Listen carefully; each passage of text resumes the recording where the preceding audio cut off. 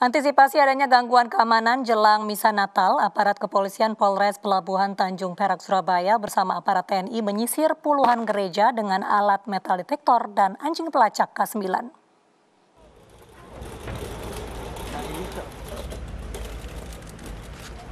Beginilah suasana sterilisasi gereja-gereja oleh puluhan aparat kepolisian Polres Pelabuhan Tanjung Perak Surabaya dan aparat TNI dari Kodim Surabaya Utara Kamis pagi.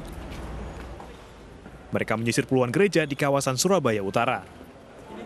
Penyisiran dilakukan di halaman parkir gereja, dalam ruang kebaktian, serta tempat mimbar untuk mendeta.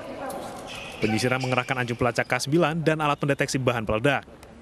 Sterilisasi ini dilakukan untuk mengantisipasi adanya gangguan terorisme. Polisi juga melihat kesiapan pengurus gereja dalam melaksanakan protokol kesehatan secara ketat. Terkait dengan prokes ini sudah menjadikan aturan daripada pemerintah, anjuran pemerintah, bahwa untuk kapasitasnya adalah sekitar 25 persen dari seperti biasanya.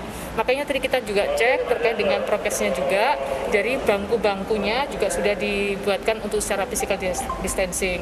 Kami juga akan nanti uh, melakukan pengecekan terkait dengan uh, tempat cuci tangan, dan juga tentunya kesiapan-kesiapan besoknya mungkin terkait dengan adanya uh, termogan dan juga disiapkan hand sanitizer.